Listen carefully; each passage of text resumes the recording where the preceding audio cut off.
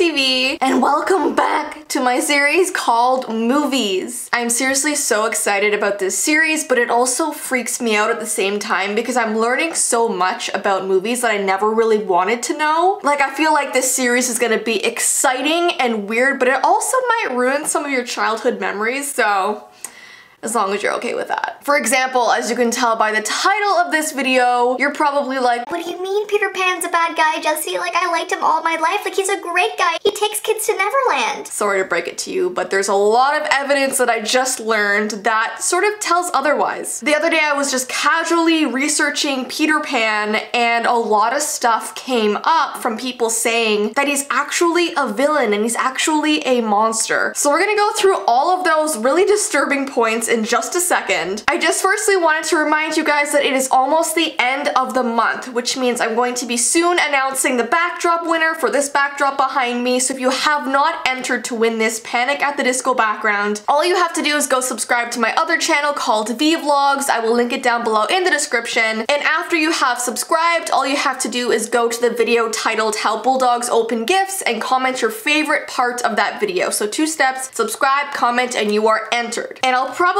be announcing the winner next week. I have to actually because that's literally the end of the month. Anyways though, let's get into movies. That's like my intro song now.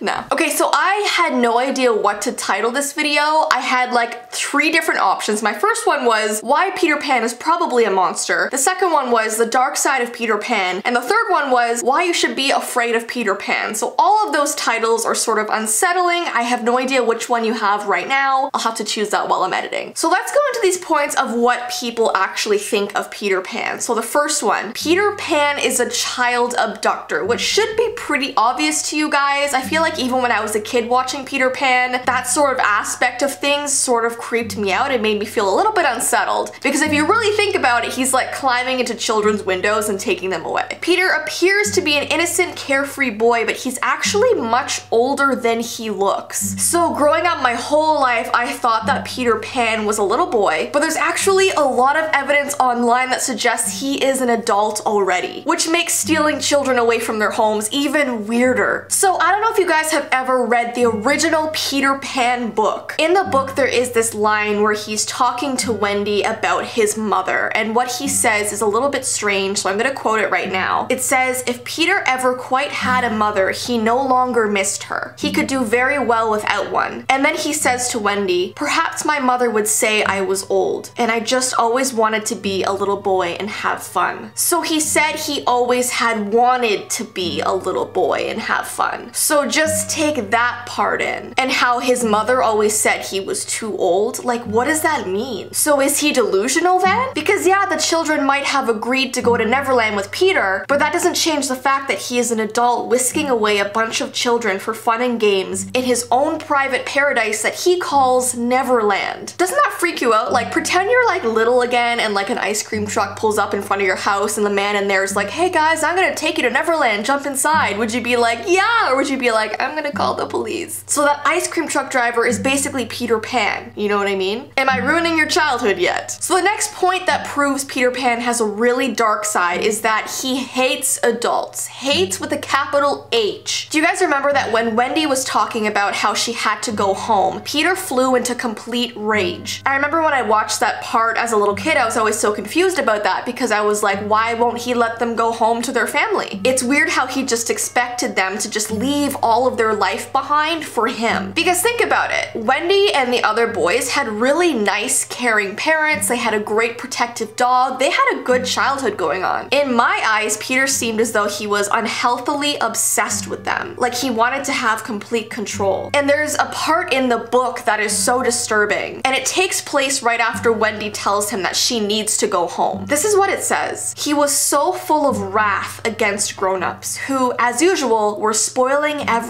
that as soon as he got inside his tree, he breathed intentionally quick, short breaths at the rate of about five to a second. He did this because there is a saying in Neverland that every time you breathe, a grown-up dies, and Peter was killing them off vindictively as fast as possible. So literally after Wendy was like, hey Peter, gotta go home, he ran into his tree and started going like because he knew that every time he took a breath, a grown-up died.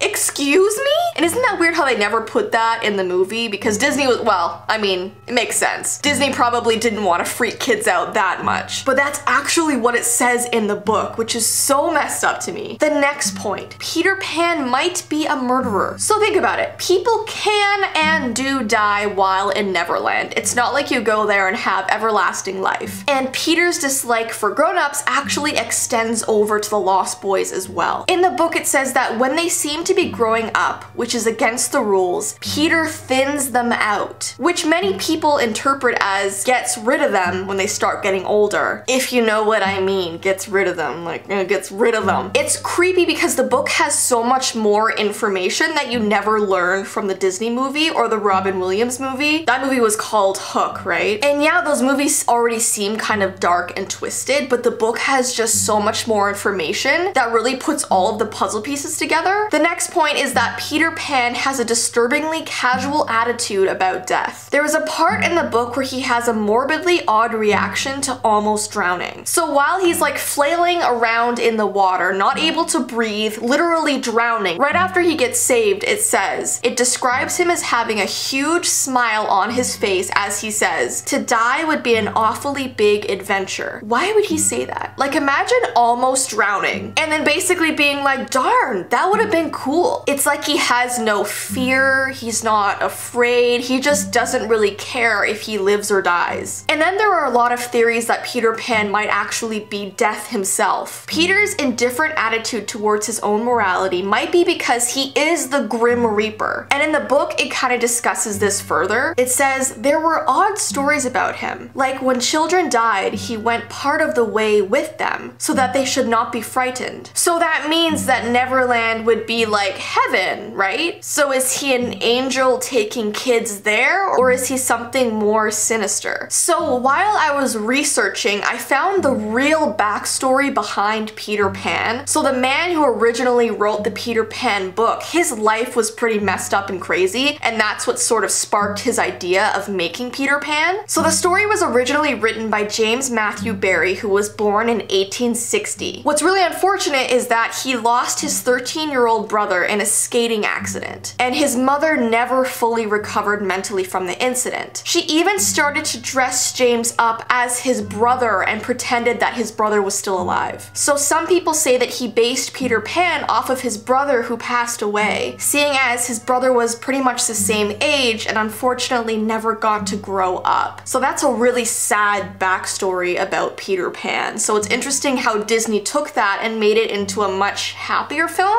Anyways though, now that we've sort of talked about the book and the backstory and how Peter Pan is sort of a really dark character, let's talk about the actual Disney movie that you guys all know and love. So we're just gonna go through some points that I think are slightly weird and wrong about the movie. The first one is, did Tinkerbell secretly have some intense strength? And listen, I love Tinkerbell, so don't get me wrong here. There's just some things about her that confuses me. So she's a tiny fairy, and she's presented in a way that tells the audience what she lacks in physical strength she makes up for in sass. So please explain to me how she successfully pulled a 12 year old human girl backwards by her hair. Wendy is like a thousand times bigger than her. And I get how adrenaline makes you stronger and whatnot, but when I'm angry, I'm not able to like lift up a train or something. And yeah, I know she's magical and she's a fairy and stuff, but there's other parts in the Peter Pan movie where she struggles to lift something, but somehow she's able to just pull back Wendy completely. It just doesn't like either make her super strong or don't. Like you can't put her in the middle. The next one that I think all of us wondered as kids is how did John's hat stay on when he was flying? How was it secure the whole time? I always wondered this when I watched the flying scene. He's literally zooming through intense winds and clouds and he has a top hat on that somehow just stays secure. I mean of all hats I feel like top hats are the most flimsy. Did someone sew it on his head like Peter Pan's shadow was sewed onto him? I just don't understand. The next one, why does Peter elect John the leader of the Lost Boys like right away. I feel like there are definitely Lost Boys in that group who have put way more time and effort into things and who are also John's age. How did none of them object to that? They've probably been there with Peter for years and like he's also new to the whole outdoors thing and he literally just arrived and suddenly everybody has to follow his lead. I don't really know if that's fair, just, just me thinking that. The next one, Um, what is Wendy's hairstyle? I feel like the longer I stare at it, the more I'm confused. It looks like organ pipes. How did she put it together? Is it pieces of a mop? Is it just strange looking curls? I just don't really understand.